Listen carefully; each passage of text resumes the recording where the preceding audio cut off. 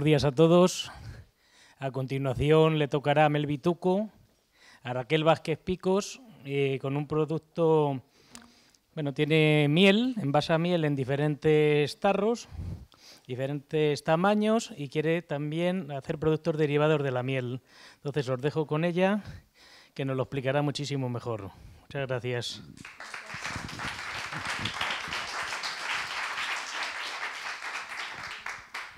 Ola, eh, bueno, o meu nombre é Raquel, eh, son de Muras, que é un concello que está cerca de Mondoñedo, e bueno, eu vos a falar do que é Melbituco, vale? Melbituco existe xa, temos unha produción, pero queremos darle un impulso, vale?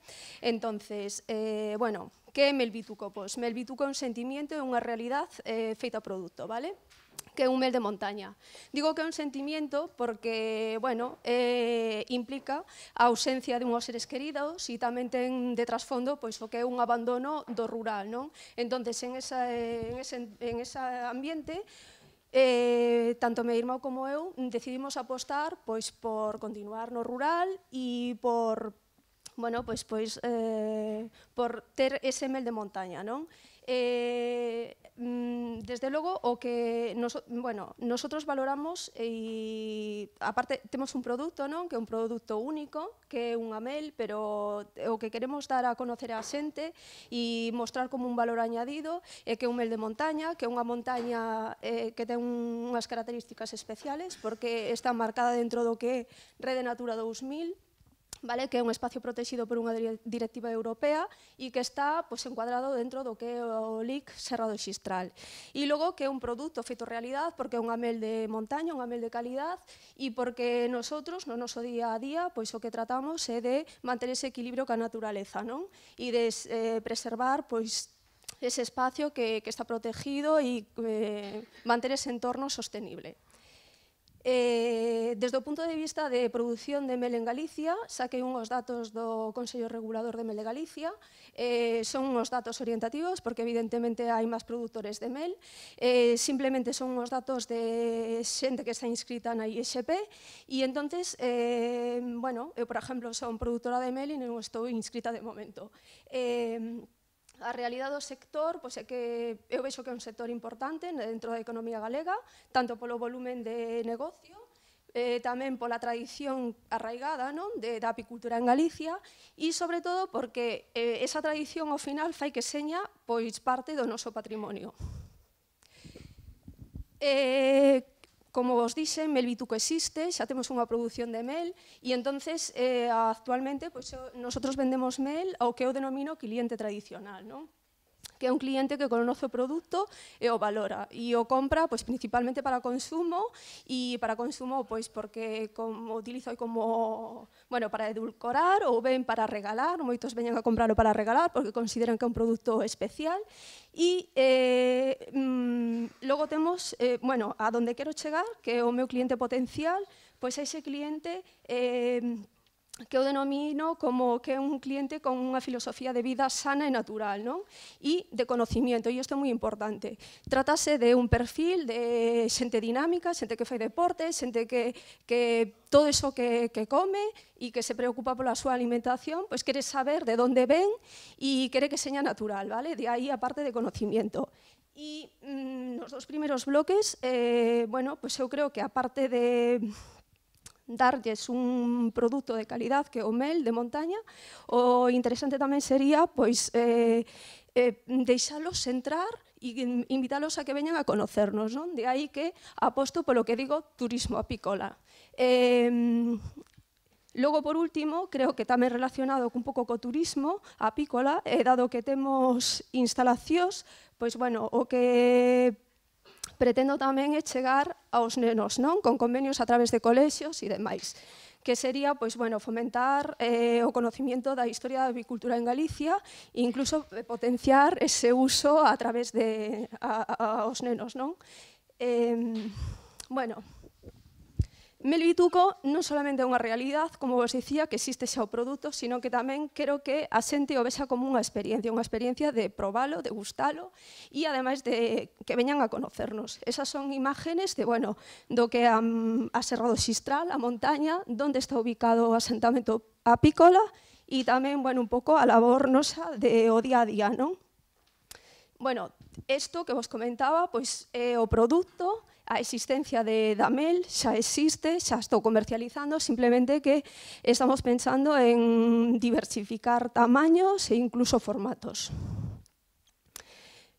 Quero apostar e aí é onde o valor añadido que lle pretendo dar ao meu produto e é pois, fomentar ese turismo apicolano que o cliente poida disfrutar dunha experiencia única e irrepetible que veña a conocernos, que veña a conocer o entorno da montaña, o Muras, Viveiro, e ademais que poida pois, eh, conocer eh, eh, comprar a mel, por suposto.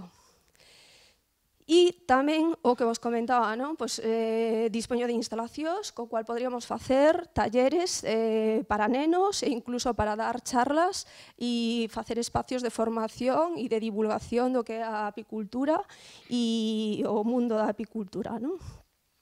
Bueno, eh, vamos, vamos a poñer un vídeo un pouco do que é o, o asentamiento apícola, donde está, e entonces a ver que vos parece, vale?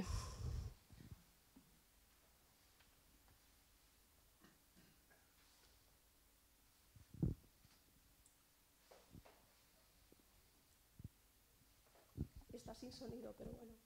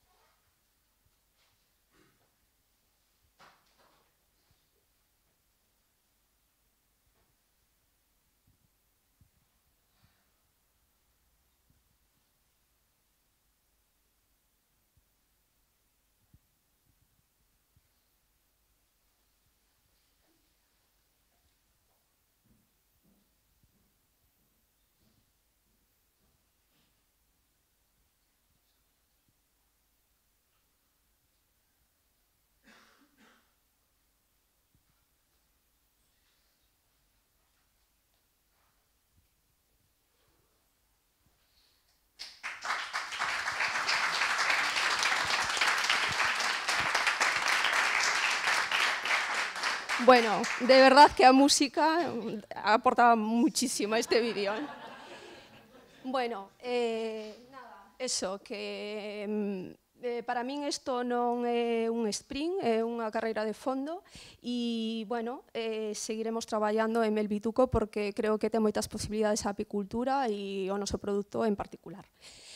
E, por último, dar as gracias a, bueno, a EOI, como todos os meus compañeiros, ao IGAPE, a todas as administracións, e en especial eu que penso moito neso de aportar valor añadido ás cousas á alcaldesa de Mondoñedo, porque creo que eh, traer unha actividade como esta ao Concello pois diferencia e de moitos outros concellos. Eu, como dixen ao principio, son de Muras e veño desde Muras aquí todos os jueves a facer o curso, bueno, non implica un esforzo maior que, que os que viven en Mondoñedo, eh, similar, pero sí que, bueno, pois pues, o mellor por cercanía a mí me apetecía facelo en outro ayuntamiento, pero non eh, eh, trouxeron esta actividade ao seu ayuntamiento. Entón, quero remarcar, pois pues, eso, que gracias tamén ao Concello de Mondoñedo. Gracias a todos e espero que vos haya gustado. Gracias.